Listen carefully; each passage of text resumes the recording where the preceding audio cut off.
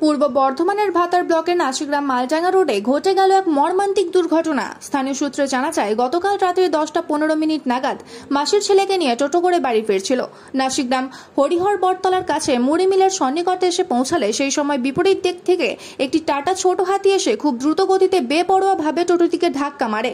ফলে দুজনেই গুরুতরভাবে জখম হয়। একজনের নাম দেবদূত হাজরা, পিতা মনোরঞ্জন হাজরা, বয়স উনত্রিশ বছর। অপরজনের নাম ব্রজকিশোর চৌধুরী, পিতা দিলীপ চৌধুরী, বয়স একুশ বছর। বিএ ক্লাস পাঠরত। একজনের বাড়ি ভাতার ব্লকের হাড়গ্রামে অপরজনের বাড়ি নোয়াপাড়া, বৈকুণ্ঠপুর শক্তিগড় থানা। এরপর স্থানীয় লোকজন ভাতা স্টেট জেনারেল হাসপাতালে নিয়ে আসে আহত দুইজনকে এবং জরুরি বিভাগে ভর্তি করা হয়। সেখানে কর্তব্যরত চিকিৎসক দুইজনকেই মৃত বলে ঘোষণা করেন। এরপর ভাতার থানার পুলিশ প্রশাসন মৃতদেহ দুটিকে ভাতার থানায় নিয়ে আসে। পরে ময়নাতদন্তের জন্য বর্ধমান মেডিকেল কলেজ হাসপাতালে পাঠায়। ভাতার থানার পুলিশ প্রশাসন ঘাতক গাড়িটি এবং গাড়ি চালককে গ্রেপ্তার করার জন্য চিরুনি তল্লাশি চালাচ্ছে। ভাতার থেকে সঞ্চয় মণ্ডলের রিপোর্ট ঘটনাটা ঘটেছিল বলতে আগামীকাল, গতকাল মানে আমাদের গ্রামের দেবী হাজিরা, উনি একটা টোটো চালক। ওনার বাড়িতে একজন আত্মীয় এসেছিলেন, একটা মাসির ছেলে এবং একজন পিসির ছেলে। তো পিসির ছেলেটার বাড়ি হচ্ছে নাসিক গ্রাম ওনাকে নিয়ে রাত্রেবেলায় ও নাসিক গ্রামে ছাড়তে যায়। ছেড়ে দিয়ে ওকে নাসিক গ্রামে নামিয়ে দেওয়ার পরে আনুমানিক ওই নটা সাড়ে নটার দিকে হবে।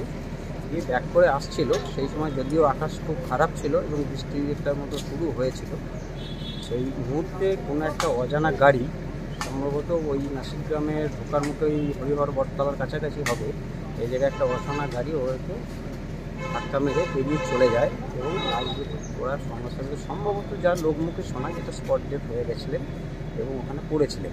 এবং তার পরিপ্রেক্ষিতে কোনো একজন টোটো চালক নাসিক গ্রামেরই, উনি হয়তো বাজার দিয়ে এসেছিলেন, ফিরতা, ফিরে যাচ্ছিলেন।